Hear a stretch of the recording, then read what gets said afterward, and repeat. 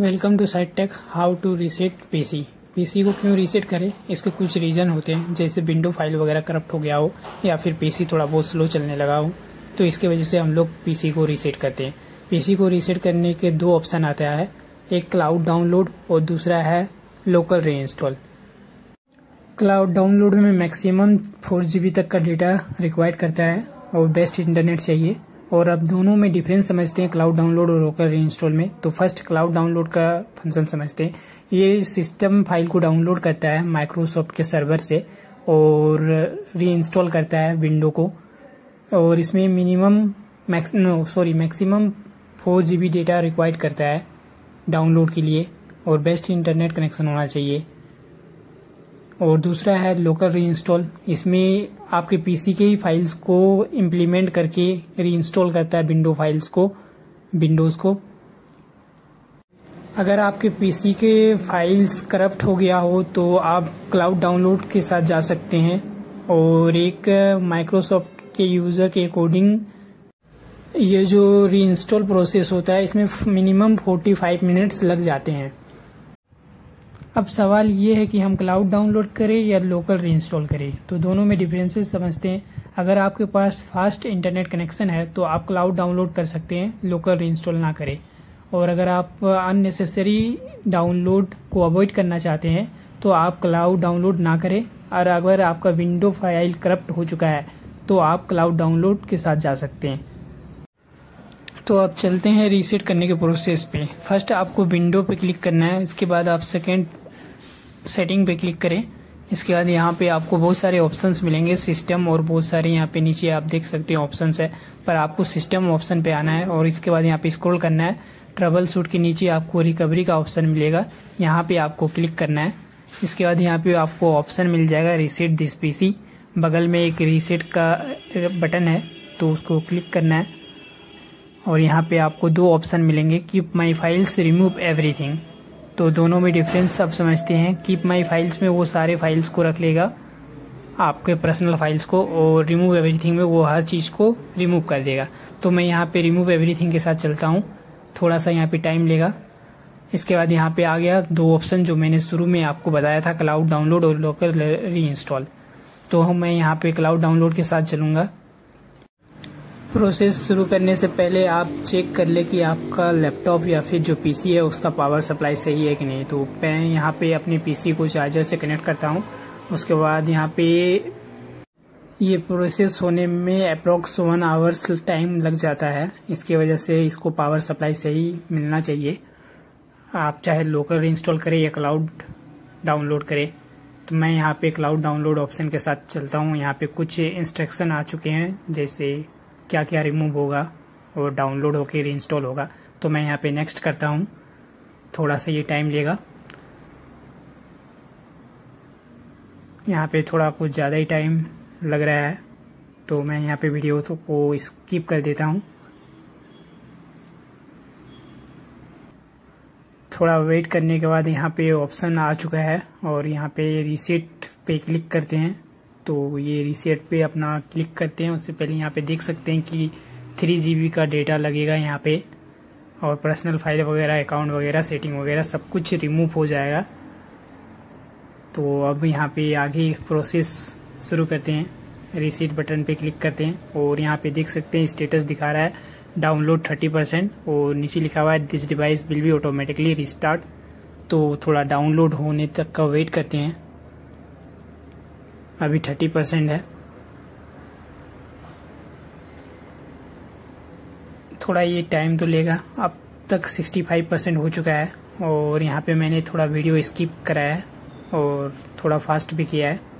यहाँ पे आप देख सकते हैं मेरा नेट कनेक्शन जो कि तीस एम रिसीविंग के साथ मिल रहा है मुझे और सेंड 200 के बी पी एस आ रहा है। तो इसको मैं क्लोज़ करता हूँ। तो यहाँ पे बेस्ट इंटरनेट कनेक्शन होना चाहिए क्लाउड डाउनलोड के लिए। 95 परसेंट डाउनलोड हो चुका है, अब बस थोड़ा सा बाकी है, फिर ये ऑटोमेटिकली रिस्टार्ट होगा तो 99 परसेंट हो चुका है 100 परसेंट हो गया। तो यहाँ थोड़ा सा टाइम लगेगा, इसके बाद ये ऑटोमेटिकली रिस्टार्ट हो जाएगा। यहाँ पे अभी प्रिपेयरिंग टू रिसीट का मैसेज दिख रहा है ऊपर में विंडो पे। डाउनलोड तो हंड्रेड परसेंट हो चुका है। तो थोड़ा वेट करते हैं। इसके बाद ये ऑटोमेटिकली रीसेट होगा।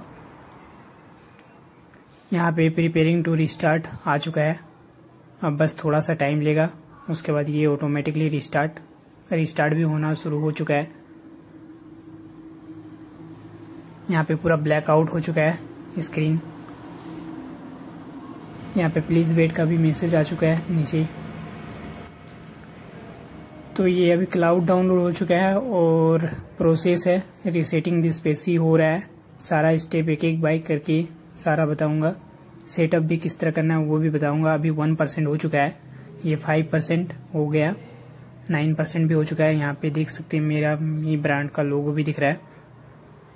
लैपटॉप का। अब यहाँ पे सेवन एट परसेंट हो चुका है। नाइन परसेंट भी हो गया।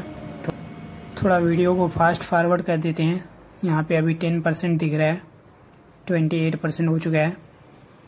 वीडियो काफ़ी लंबा ना बनाते हुए मैं यहाँ पे थोड़ा क्रॉप कर चुका हूँ और यहाँ पे ninety six ninety seven ninety eight percent हो चुका है। बस हंड्रेड परसेंट पूरा होने में थोड़ा टाइम लगेगा। तो यहाँ पे नाइन्टी नाइन परसेंट हो गया है। अब बस वन परसेंट बाकी है। थोड़ा सा वेट कर लेते हैं बस। यहाँ पे कुछ टाइम लेगा थोड़ा सा तो ये 99 परसेंट होने के बाद पूरा स्क्रीन ब्लैक आउट हो गया। 100 परसेंट का कोई मैसेज नहीं आया। यहाँ पे सर्किल एक है जो लोड होने के जैसा रन कर रहा है, घूम रहा है। फिर रिपेयरिंग हो रहा है। ये 100 परसेंट हो चुका है डाउनलोड अब यहाँ पे इंस्टॉलिंग हो रहा है, जो कि 2 परसेंट है। यहाँ पे लिखा हुआ है keep your laptop on and plug in तो यहाँ पे पावर सप्लाई सही से आप अपना सेट करके रखिएगा। जो चार्जर है वो वो कनेक्ट रखिएगा। तो यहाँ पे फिर से ब्लैकआउट हो गया स्क्रीन और यहाँ पे अभी भी टू परसेंट है। फाइव परसेंट इंस्टॉल हो चुका है। यहाँ पर भी मैं थोड़ा सा वीडियो को क्रॉप कर चुका हूँ और यहाँ पे देख सकते हैं फाइव परसेंट है, पर अभी मैंने क्रॉप नहीं किया है। थोड़ा सा क्रॉप यहाँ पर भी मैंने करा है फास्ट फॉरवर्ड करा है। तो थोड़ा सा देखे स्टेप बाय स्टेप सीख ले और अच्छे से अपने पीसी को रीसेट कर, करेंगे। तो यहाँ पे 90 सॉरी 69 परसेंट हो चुका है और ब्लैक आउट हो गया है। कुछ भी नहीं आ रहा है। यहाँ पे लोगो आ गया है लैपटॉप का मी लोगो यहाँ पे वेलकम भी आ चुका है। अभी यहाँ पे 70 परसेंट ही इंस्टॉल हुआ है। वो धीरे धीरे करके सारा प्रोसेस कर रहा है। रीसेट तो हो चुका है, बस इंस्टॉल हो रहा है, जो विंडो फ़ाइल डाउनलोड हुआ है। तो यहाँ पे 90 परसेंट कंप्लीट हो चुका है 95 परसेंट अब यहाँ पे जस्ट ए मोमेंट थोड़ा सा वेट करते हैं। इसके बाद ये पीसी ऑटोमेटिकली ऑन हो जाएगा। तो यहाँ पे एक विंडो का लोगो आ गया है। विंडो भी इंस्टॉल हो चुका है। अब सेटअप करते हैं। तो यहाँ पे इंग्लिश यूनाइटेड किंगडम को मैं सेलेक्ट कर चुका हूँ और इसको यस करता हूँ। यहाँ पे नीचे यस का बटन है। आप अपने हिसाब से जो लैंग्वेज आपको सेलेक्ट करना है सेलेक्ट कर सकते हैं। यहाँ पे रीजन सेलेक्ट करने का कंट्री सेलेक्ट करने का आ चुका है। तो मैं यहाँ पे इंडिया सेलेक्ट करके नेक्स्ट करता हूँ। थोड़ा सा लोड कर लेगा। इसके बाद यहाँ पे कीबोर्ड लेआउट सेट करने के लिए कह रहा है। तो यहाँ पे इंग्लिश इंडिया में सेलेक्ट कर देता हूँ। इसको आगे करता हूँ। यहाँ पे सेकेंड लेआउट भी आ चुका है। तो सेकेंड लेआउट में यहाँ पे एड कर दूँगा, जो कि अपना है हिंदी इंडिया यहाँ पे बहुत सारा लैंग्वेज आपको मिलेगा। आप जो भी मराठी इंग्लिश हिंदी कुछ भी जो भी लैंग्वेज हो अरबी वगैरह बंगाली बंगला वगैरह, कुछ जो भी हो, वो आप सिलेक्ट कर सकते हैं। तो यहाँ पे चाइनीज़ वगैरह बहुत सारे हैं। यहाँ पे हिंदी ढूंढते हैं। अभी इंग्लिश आ चुका है। तो ई लेटर के बाद एप लेटर एप के बाद जी फिर आएगा एच तो यहाँ पे अभी एप लेटर पे ही है। थोड़ा फास्टली स्क्रॉल करते हैं। यहाँ पे हिंदी, इंडिया दिख गया। तो इसको सेलेक्ट करते हैं। उसके बाद नेक्स्ट करते हैं। यहाँ पे हिंदी ट्रेडिशनल को ही सिलेक्ट कर देते हैं। एड लेआउट कर देते हैं। तो एड लेआउट हो चुका है और यहाँ पे अब वाईफाई कनेक्ट करना पड़ेगा, क्योंकि पीसी को सेटअप करने के लिए थोड़ा वाईफाई थोड़ा डाटा लगेगा।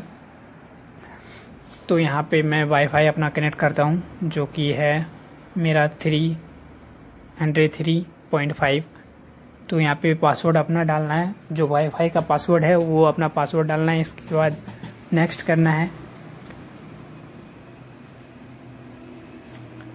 तो यहाँ पे मैंने पासवर्ड डाल दिया। और नेक्स्ट करता हूँ। ये कनेक्ट हो रहा है। वेरीफाई करेगा पासवर्ड को। इसके बाद यहाँ पे कनेक्ट हो चुका है। फिर नेक्स्ट करते हैं। चेकिंग फॉर अपडेट्स जो भी थोड़ा बहुत अपडेट्स है, उसको चेक कर रहा है, उसको डाउनलोड करके वो अपडेट कर देगा ऑटोमेटिकली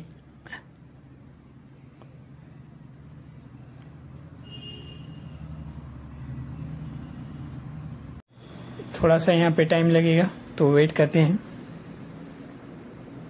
सारी चीज़ सेट हो रहा है, जो अपडेट्स वगैरह, वो अपडेट हो रहा है। ऑलमोस्ट देर फिनिश हो चुका है। बस ये लास्ट स्टेप है।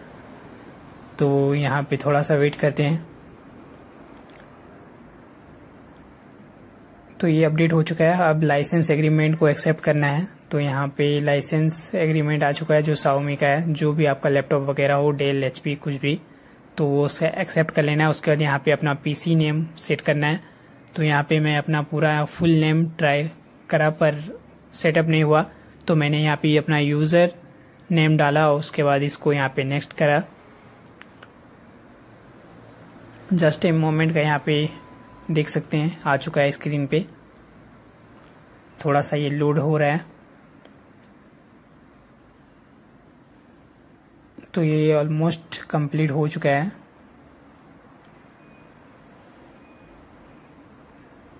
यहाँ पे अभी कुछ नहीं आया। यहाँ पे माइक्रोसॉफ्ट एक्सपीरियंस आ चुका है, जो कि माइक्रोसॉफ्ट का आईडी लॉगिन करना पड़ेगा वन ड्राइव वगैरह। तो यहाँ पे आ चुका है साइन इन करने का। तो मैं यहाँ पे अपना आईडी साइन इन करता हूँ। सेट कर लेता हूँ कंप्लीट सेटअप करता हूँ। तो यहाँ पे मैंने ऐड कर लिया, थोड़ा सा स्किप कर दिया इसको, अपना आईडी वगैरह को अनशो करते हुए। यहाँ पे मेरा प्रीवियस जो डाटा था, वो आ चुका है वन ड्राइव से। वेलकम बैक का मैसेज देख सकते हैं ऊपर में।